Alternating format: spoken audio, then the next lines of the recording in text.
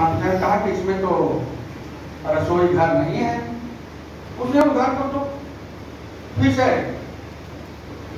तोड़ दिया। मैंने जैसे को, जैसे जैसे उसको रखते हैं ना, जैसे मोबाइल आपको लेकर घर में दे दिया है तो उनको खेलने के लिए सामान तो जैसे एक एक सामान रख करके उसको बनाया था घर, उसको बिगाड़ फिर उसमें उसने बना दिया।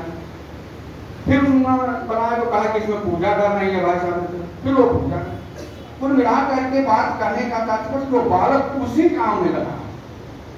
और कहें कि मैं दो, दो दिन तक था तो अधिकांश समय बालक उसी में हूँ बल्कि उन्होंने कहा कि तो बालक आपका आगे चलकर इंजीनियर हो वो मोबाइल में उसमें नहीं जुड़।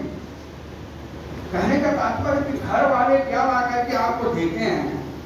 घर में आप किस तरह से रहते हैं? कुटुंब प्रबोधन का विषय यही है कि घरों में क्या संगत पंगत है? एक साथ भोजन करते हैं हम लोग बैठ करके। क्या एक साथ बैठ करके कोई घर के निर्णय के लिए वार्ता होती है? मैं अपना ही उदाहरण बता रहा हूँ। अभी चार दिन पहले मैं थोड़ा सा एक विषय लेकर के उलझन में था। बताने में कोई संकोच नहीं। उसमें मेरे यहाँ आवाज़ पर मेरी दो छोटी बहुएँ थी नाती था, छोटा लड़का था, पत्नी थी। उसी दिन घर से फ़ोन आता है दो बार, एक दिन पहले।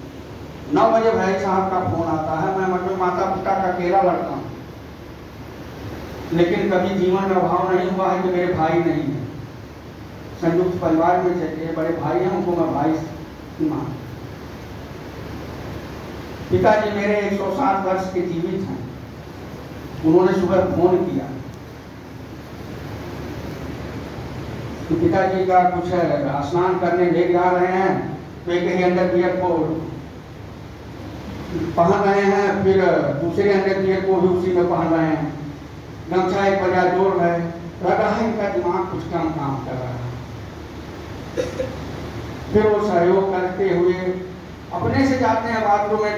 कुछ नहीं करने देते हैं। और जब नहाने लगेंगे अपने से ही तो कुर्सी पे बैठ करके सब काम करने लगते हैं।